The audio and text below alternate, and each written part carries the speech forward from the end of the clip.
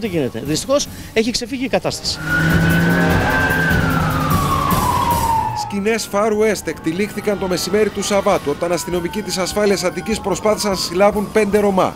Τον τελευταίο καιρό φέρονται να είχαν ρημάξει στις ληστείες κατοίκους και καταστηματάρχες, κυρίως σε Πόρτο Ράφτη, Μαρκόπουλο και Κερατέα. Είναι μονοκατοικίες περισσότερες και περισσότερες είναι κάτοικοι της.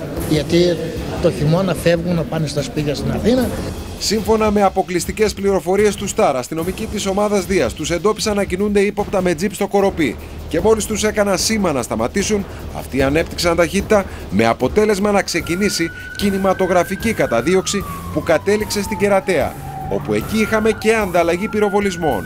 Ακριβώς στο σημείο που βρισκόμαστε στην Βιοπά, στο βιοτεχνικό πάρκο της Κερατέας στη διασταύρωση με τη λεωφόρο Λαβρίου, οι πέντε κακοποί καταφέρνουν και βγάζουν έξω από το αυτοκίνητο έναν ηλικιωμένο.